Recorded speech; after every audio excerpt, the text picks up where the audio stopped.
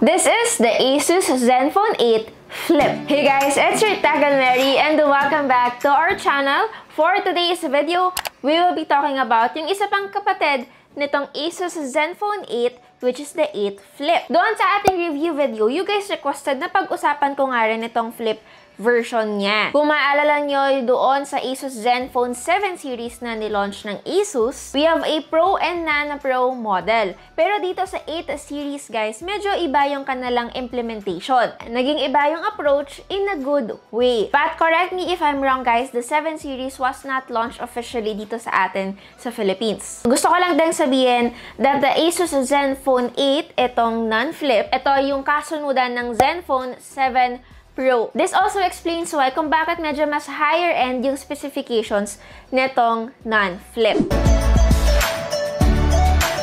Ang box ng ating Asus Zenfone 8 Flip, kamukha pa rin naman siya ng non-flip na nakita niyo sa atin sa previous video pero medyo mas malaki lang ang ating box kasi mas bigger din ang ating smartphone. Yung kulay na meron tayo ay silver and the variant that we have is the 8GB of RAM with 256GB of internal storage. By the way, for the pricing of the Asus Zenfone 8 Flip, ilalagay na lang natin yan dito.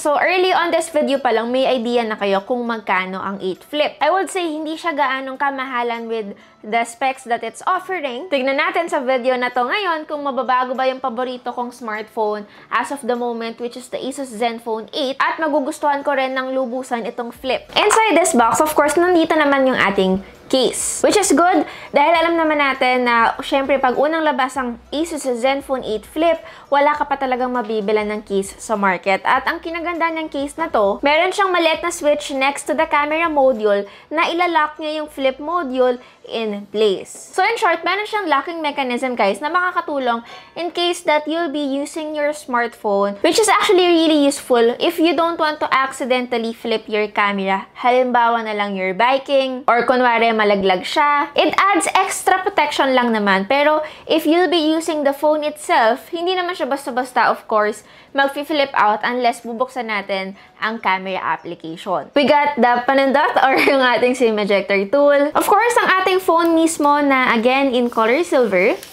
Ito siya. Meron tayong 30 watt fast charging power brick. Meron din tayong USB Type-C charging cable. It's Type-C to Type-C and disclaimer guys, wala po tayong libreng earphones, wala rin tayong dongle dahil wala tayong 3.5mm audio port. Mary, we wanna see the flipping mechanism ngayon na excited na kami. Okay, sige guys, ito na.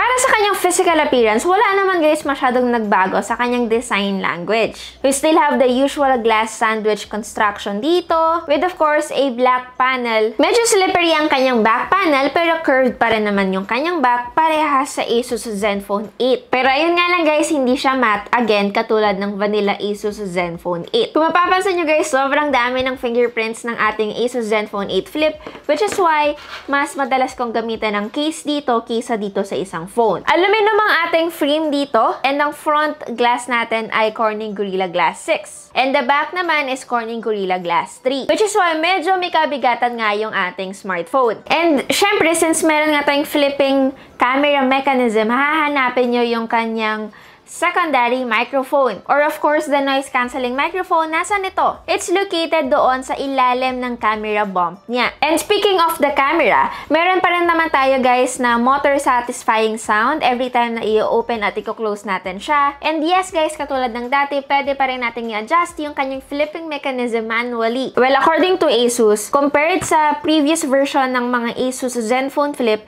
eto guys ay nagpo-provide daw ng 50% stronger output shaft for for further improving the longevity of the motor. And sabi rin nila guys, kakayanin daw ng Asus Zenfone 8 Flip up to 300,000 flips or sabihin na lang natin na 5 years of usage at 150 flips per day. Imagine nyo na lang yun, guys. Ako, guys, particularly, of course, for owning one, itong Asus Zenfone 8 Flip, at first, it was very fun to, you know, flip the camera. Sobrang mayat maya, nagsiselfie ako. But then later on, guys, nawala ng konti, of course, yung excitement. And hindi na ako ganun kadalas gumagamit ng selfie camera niya than I used to have it for the very first few days. So, 150 flips, kahit na sobrang excited ako guys, hindi ko naman siya nagawa or na-experience unless itatry mo siya at isasadyain nyo. And sasagutin ko na rin yung mga frequently asked questions nyo. What if Mary malaglag or madrop namin yung Asus Zenfone 8 Flip habang nakaangat ang kanyang camera? Well, as with most modern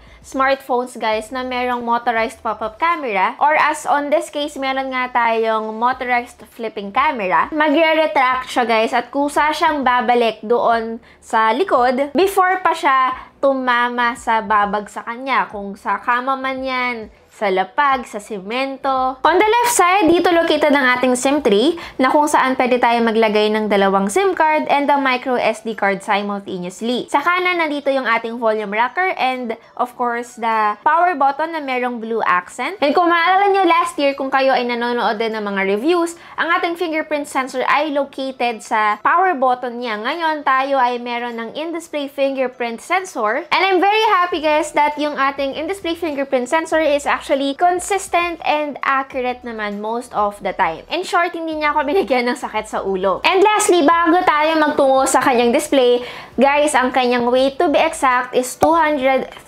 grams. For me, it's not heavy. Sabihin na lang natin kasi nga, marami pa naman din akong smartphones na nahawakan na mas mabigat dito. Katulad ng LG Wing, Legion Phone Duel 2, Samsung Galaxy Fold 2, and gets rin naman kung ba't 230 grams. And kung gusto niya ng konting comparison, hindi nalalayo ang kanyang weight sa iPhone 12 Pro Max.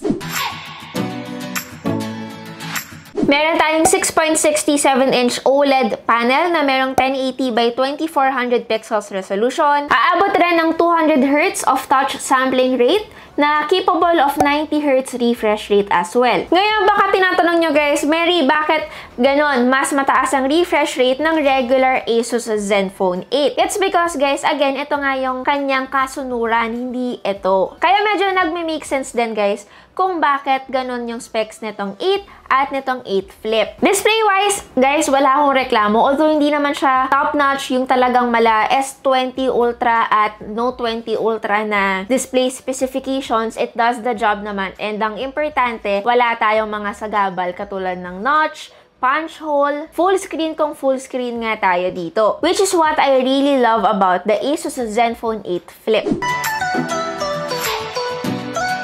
Now, kumusta yung kanyang camera hardware? Ito, gusto ko to guys na pag-usapan talaga kasi kakaiba to sa, of course, market natin ngayon. And one of the most intuitive camera system I've seen so far. Again, kinda complicated pero once na meron ka ng 8 flip, matutuwa ka talaga guys sa performance and capability na ibibigay niya dahil, again, unique or kakaiba nga siya. We still have the Sony IMX686 na 64 megapixels main camera. Meron tayong dual pixel autofocus dito, but wala siyang dedicated OIS. Meron din tayong Sony IMX363 12 megapixels ultra-wide camera and an 8 megapixels telephoto camera. Those are the rear camera specifications guys at uulitin ko wala tayong front camera kasi kung ano ang camera natin sa likod, yun din ang camera na gagamitin natin sa harap. So yes, the selfie game is really strong on this device. So let's dig in doon sa kanyang pinaka-camera mismo and let's have a camera tour. Opening the app, of course, we have an option to use the wide,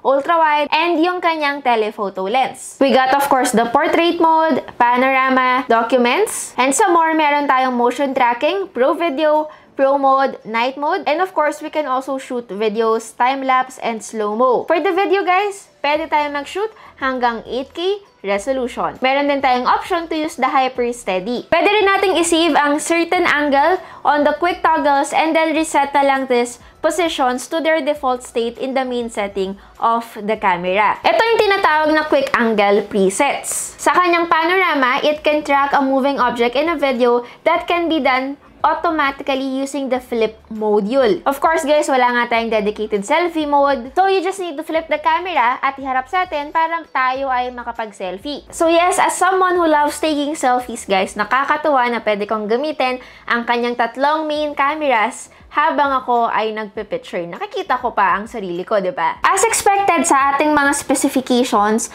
maganda naman ang mga photos taken by the Asus Zenfone 8 Flip. Colors are very vibrant and crispy ang ang kanyang mga details. And ang ating portrait mode, maganda ang kanyang edge detection or let's just say, okay, although hindi perfect ang ating subject to background separation. And since we are using the standard cameras guys as a selfie camera, expect a more accurate selfies compared sa mga standard or regular selfie photos na nakukuha natin sa mga phones priced at this point. So yes guys, useful at may silbi ang kanyang flipping mechanism. Hindi lang siya nandyan para lang of course gumanda yung ating selfie photos. But to have more options, lalo na kung seryoso tayo sa ating photography and videography hobby.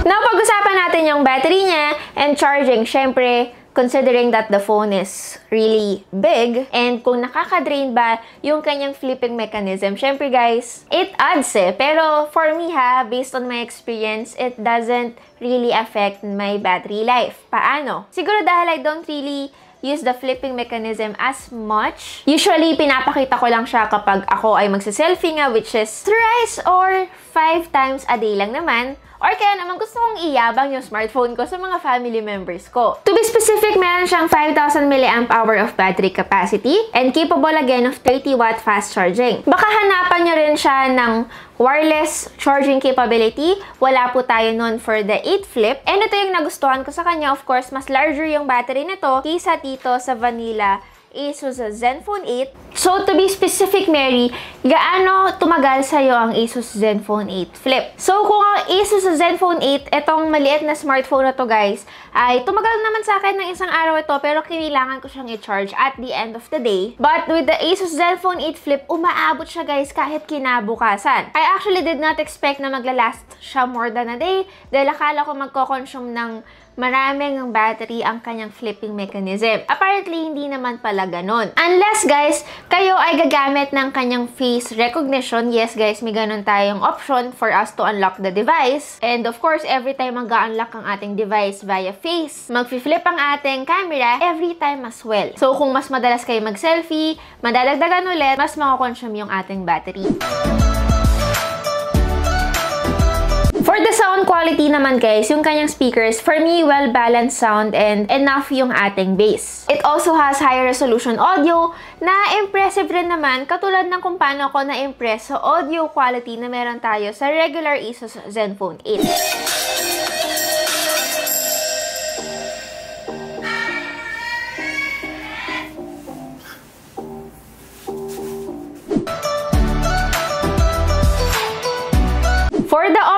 System, it has the latest Zen UI 8 based on Android 11. Again guys, katulad ng sinabi ko sa review natin ng Asus Zenfone 8, very similar to stock Android ang ating experience sa Zenfone 8 Flip. Wala masyadong learning curve para sa akin kasi nga again, sanay naman din ako sa mga smartphones na near stock Android katulad ng OnePlus, Now, how about the performance? It has the latest and greatest Qualcomm Snapdragon 888 And again, ang unit na meron tayo ay mayroong 8GB of RAM with 256GB of internal storage. And nag-iisa lang ito guys. Isa lang ang available variant natin for the Flip unlike the Asus Zenfone 8. Performance-wise guys, it performs as expected as what you guys would experience sa mga Snapdragon 888 smartphones. Meron din siyang dedicated performance mode, control over temperature, and a so-called OptiFlex memory management system. Meaning guys, ina-analyze niya yung mga applications that need to be closed or yung mga applications that needs to be shut down. The 8 Flip cost 39,995 pesos na hindi nalalayo sa presyo ng higher variant ng Asus Zenfone 8 vanilla. Which means, guys, medyo mahirap pamili between these two. Pero since magkaibang magkaiba sila ng idea and of course, target market, medyo for me, mas madadalian din kayong mamili between these two. Pero if you guys are still torn between these two, i-weigh in nyo yung priorities nyo in life. Pili lang kayo guys. Parehas lang naman din sila ng presyo. Kung gusto niyo ng medyo mas powerful na 16 GB of RAM, kapresyo na silang dalawa. Pero kung gusto niyo na tama lang, makakasave ka ng halos 5,000 pesos. Para sa pros and cons natin, para sa pros, okay yung kanyang build quality. Gustong gusto ko yung kanyang flipping mechanism. Bright and full screen ng ating display, something that the vanilla Asus Zenfone 8 did not give me. Of course, very clean UI near stock Android guys. And ang paborito ko talaga dito ay yung kung saan pwede nating i-customize mismo yung volume depending on the application we're using. Good stereo speakers. And of course, a great camera and video experience dahil nga doon sa kanyang flipping mechanism. Ngayon, kamusta naman yung mga cons natin? Ang con, syempre guys, yung um, sobrang smudge magnet niya talaga. Ang ganda ng kanyang likod, maganda yung kulay natin, which is why I rarely use the case. Pero kung ganito yung sitwasyon or magiging sitwasyon ng phone ko, I'd rather put the case. Pangalawa is, of course, charging. Hindi siya ganun kabilisan mag-charge compared sa mga competitors niya, katulad ng meron tayo sa OnePlus, Realme, or yung mga semi-flagship phones natin from Xiaomi. Anyway, those are it lang naman guys. I hope nakatulong itong video natin sa pagde-decide para sa inyo kung bibili ba talaga kayo ng bagong Asus Zenfone 8 Flip. Anyway, available na rin naman ito sa ating market. If you guys want the link, I'll be putting it down below. Again, it's your Girl Mary and see you on my next video. Bye guys!